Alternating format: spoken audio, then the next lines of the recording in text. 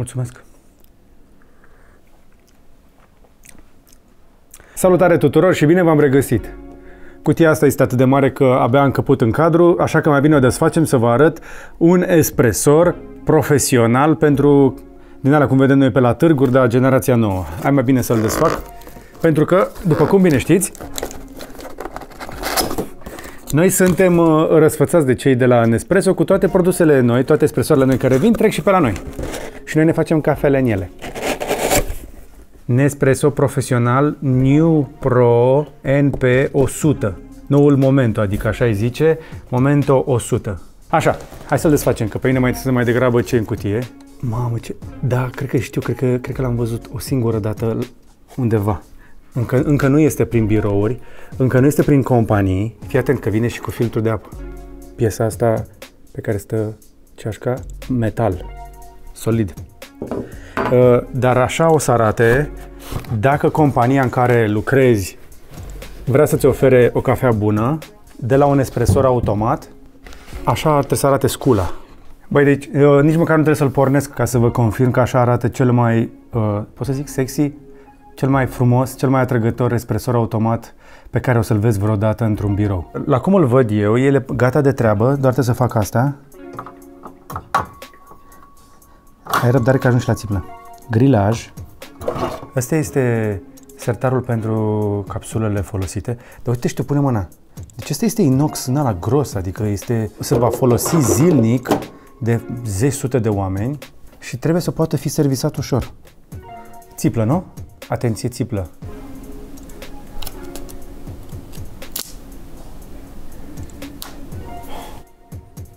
Cineva la Nespresso știe. A, gata, știu, fii atent. Asta-l bag așa.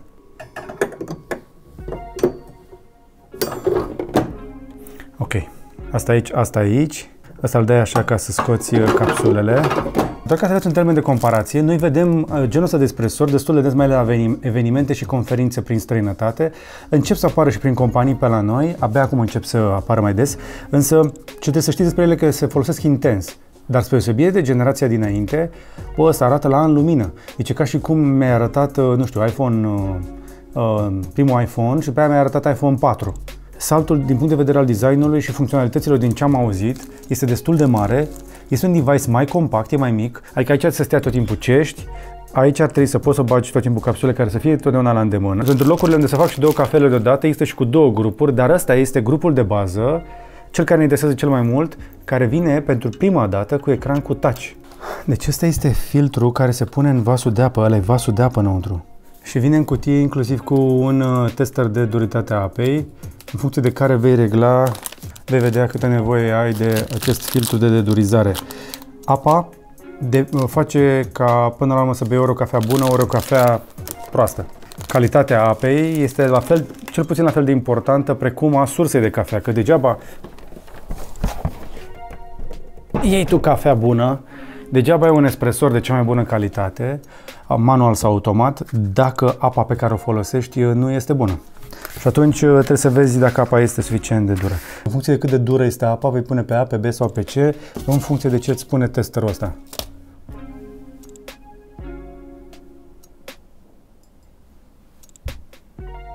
Acum trebuie să ne arate așa. Roșu spre galben, galben spre uh, verde gă, uh, gălbejit și sau verde închis. Apa cea mai dură este verde închis. Aici avem un yellow to yellowish green, care este fix pe B și este cu duritate de 10,6 între 10,6 și 16,9. Deci la cum arată a venit corect setată ăsta, filtrul ăsta, pe care îl vom pune așadar pe B. Nu e recomandat să pornești espresorul fără apă, pentru că altfel uh, boilerul riscă să se încingă pe uscat. Până când vine apa, hai să vă arăt uh, ce capsule vom folosi, pentru că sunt diferite față de cele pe care le găsești în uh, magazine Nespresso, cum sunt cele din oraș sau de la mall. Uh, o să ai nevoie de capsule din gama profesională și pentru espresor, apropo, și pentru capsule va trebui să iei legătura cu ei pentru oferte personalizate. Adică nu se vând în magazin, se fac doar prin com- și se livrează pe comandă. Cam așa arată un pachet tipic de capsule, mai ales atunci când uh, cumperi prima dată un aparat de la ei. ți se oferă un astfel de, o astfel de cutie uh, de, să zicem, de degustare, ca să încerci să vezi ce-ți place și selecția de pe acest tip de aparat uh, arată cam așa, cum este uh, partea asta de aici. Favoritele mele, evident, sunt ristretto, dar avem mai multe tipuri de ristretto. Toate sunt bine evidențiate pentru cei care văd pentru prima dată un astfel de aparat, ajută să știe cât de tare este cafeaua.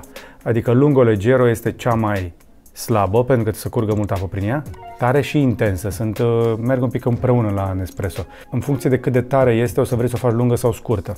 La Ristretto Origin India, dacă vedeți, uh, este uh, foarte tare, dar nu este cea mai tare, pentru că mai avem acel Ristretto Intenso, apoi mai avem Ristretto care este 9, deci practic o gradație de la 0 la 12 cu lungo leggero fiind cel mai slab. Adică dacă îți faci o cafea lungă cu un lungo leggero, o să iei aceeași cantitate de cofeină ca la un Ristretto, dar o să ai o cafea mai lungă.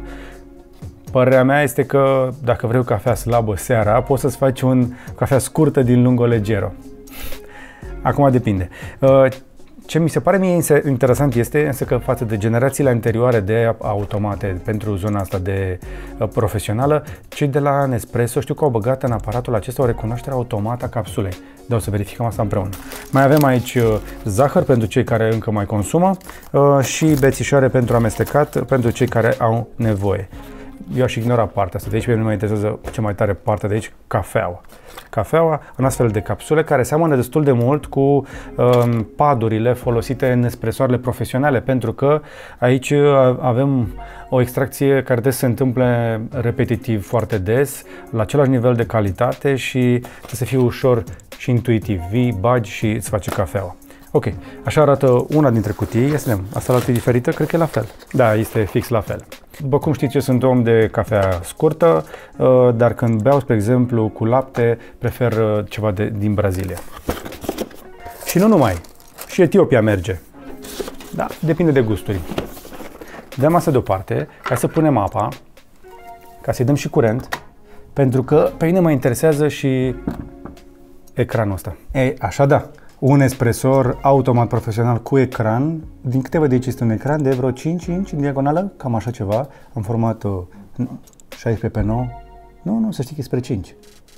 Uh, ne alegem limba. Vedem, avem limba română. Romanian. Pam, pam. Bun venit la Nespresso, sunteți la doar câteva minute distanță de o ceașcă de cafea delicioasă. Și asta îmi place foarte mult la Nespresso, că pe toate produsele lor, dacă are opțiune de limbă, are și limba română. Ok. Alegem fusul orar, că suntem în Europa. Doriți să activați încălzitorul de ceașcă? Radu? Da. Standby time. Hai să punem standby la 10 minute ca să fim economisim mai multă energie. Time to sleep. 10 minute. For high traffic venues. Uite, vezi, e gândit și pentru târguri, dar și pentru toată experiența, adică poți să faci toate sortimentele de cafea, nu doar unul sau două. Setăm temperatura. Pe 2, da? Aveți de gând să folosiți cești Nespresso, da? Setați cantitatea rețetei la ristretto, Radu. Facem un pic mai maricel, un pic, un pic. Atât? Nu știu. Dacă ești pe ceașcă Nespresso, cam atât o să fie. Și asta este un espresso. Și aici suntem pe ceștile mari pentru lungo. Și aici americano, pe alea mari. Și acum să băgăm și un cod de acces. Spunem un cod greu, da? Pe care să nu știe colegii. Instalarea filtrului de apă l-am pus. Am setat duritatea, reglați inelul l-am setat la B. Băi, e frumos. Deci o să-ți vină să-l lustruiești. Hopa! Cred că el își încarcă bo- boilerul pentru prima dată și va face o trecere prin uh, grup ca să... Și acum să băgăm o capsulă. Îți alege aroma?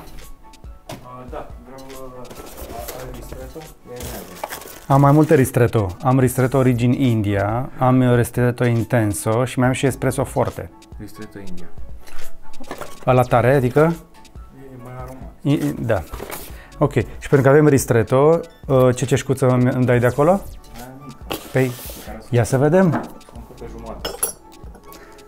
Ce șcuță avem? Sunt, și acum este momentul adevărului. A recunoscut-o și îmi recomandă ristretto. Rețetă recomandată, ristretto. Și la capsula. Ristretto Origin India, tărie 10. caracter pronunțat și note de mirodenii, ca să știi ce bei. Mulțumesc de ajutor, meriți o cafea. Eu am să-mi aleg un espresso origin Brazil. Chiar dacă n-am lapte, dar ăsta de Brazil este doar 4 și poți să bei din astea 5 pe zi. Dacă ești ca mine, bei și 6. Da, da, băgăm? Deja fii atent, asta de încălzit ce ești este fiervințică. Uh, thank you! Bine, asta trebuie să o pun aici așa, știi? O lăsăm la încălzit. S-a încălzit. Introducem capsula. Ești pregătit că fac espresso, fii atent. Espresso Brazil. Am băgat capsula, îmi recomand espresso, apăs și the magic is happening. Espresso Origin Brazil, tărie 4, aflăm frumos de pe ecranul de informații, prăjită ușor cu note dulci de cereale. Dacă îți place pâine, mai bine bei o cafea, e mai sănătos. Ia să vedem cum arată acest espresso de Brazilia. M-am făcut poftă? Nu știu câte e ora la care vă uitați la clipul pe care îl facem noi aici, dar eu voi bea un espresso. Uite ce frumos m-am asortat. Mulțumesc! Nu doar cereale, parcă simt și un pic de scorțișoară. Simt cum vine viața pe la mine.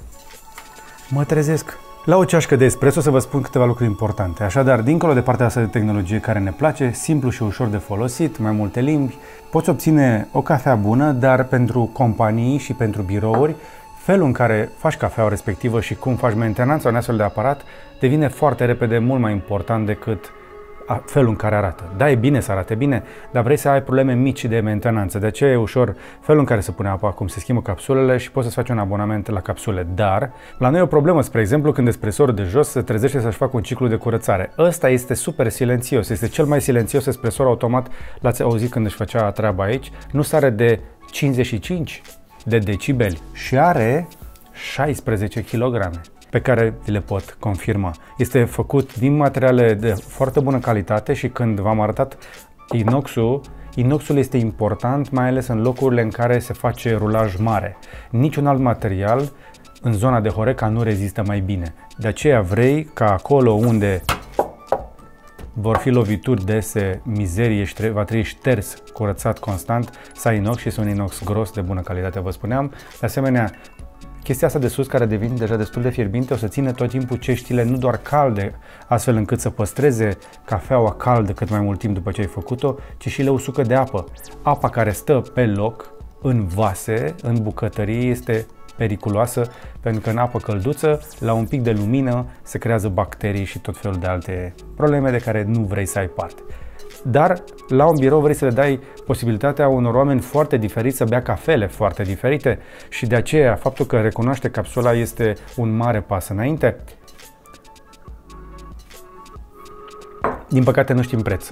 Am încercat să aflăm, nu sunt publice, trebuie să afli prețul, îl poți afla prețul, dar dacă e legătura cu un reprezentant de prețul care să facă o ofertă pentru aparat și apoi pentru un abonament la capsule, că trebuie să iei capsulele de la ei ca să ai întotdeauna cafeaua exact așa cum ai văzut-o aici. Dacă vrei o cafea la fel de bună de fiecare dată, trebuie să poți controla toți pașii, de la originea cafelei, cât de proaspătă este, cât de bună este apa și cât de corect funcționează aparatul, care apoi trebuie să-i faci o mentenanță, dar în acest caz o mentenanță minimă, pentru că nu rămâne zaț în mașină care să strice angrenajul, ci doar la un moment dat, după foarte mult timp, ceva timp ajunge să se încarce cu calcar. Deci de, de calcifierea respectivă o să o faci și mai rar dacă folosești filtrul pe care ți l-am arătat, care este un filtru pentru duritatea apei, dar la intervale de timp, genul ăsta de aparate au nevoie de așa ceva, dar pentru asta există tot felul de funcții pe aici. Uite, de exemplu, am Setup Menu sau Technician Menu sau Maintenance Menu. Aparatul pe care îl vedeți a fost premier la Eve Design Awards într-un motiv foarte simplu. Uh, și băieții au birouri și cu toții ne dorim ca la birou să bem cafea bună, iar cei care vor să ne ofere cafea vor cât mai puține bătaie de cap. Adică, da, într-o lume nu știu, în asta, prin Silicon Valley am văzut multe companii care oferă mai multe opțiuni, și automat și manual, pentru cei care vor să vină să-și facă cafeaua manual, Foarte puțini sunt cei care vin să-și facă cafeaua manual. Este o extravaganță să le oferi oamenilor posibilitatea să-și facă cafeaua la mână. Mie îmi place chestia asta, dar din când în când, că n-am timp să-mi fac o cafea întotdeauna și la biroul nostru un astfel de aparat va fi mai, mai, mai mult decât binevenit pentru toate argumentele de mai sus. Și cam atât. Acesta este momentul 100, unul dintre cei mai faini colegi din birou cu care o să vorbești mult. Drumurile la automatul de apă și la automatul de cafea sunt uh, cele mai plăcute în timpul zilei de muncă. Nu uita să ne dai un like dacă ți-am fost de folos, un share să vadă și șeful și colegii și un subscribe. Uh, și dacă încă nu e gata la momentul publicării acestui review, intră pe Instagram că dăm o bicicletă oferită de Nespresso la un review de bicicletă reciclată, dacă îl prindeți, dacă suntem încă în august 2019. Până una alta, beau un espresso în cinstea voastră dacă sunteți de acord. Numai bine!